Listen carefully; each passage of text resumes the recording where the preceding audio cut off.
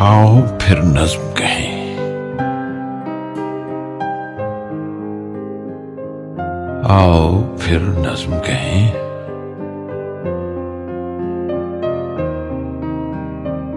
फिर किसी दर्द को सहला के सुजा ले आँखें।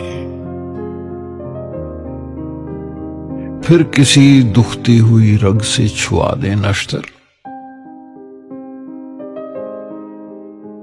या किसी भूली हुई राह पे मुड़कर एक बार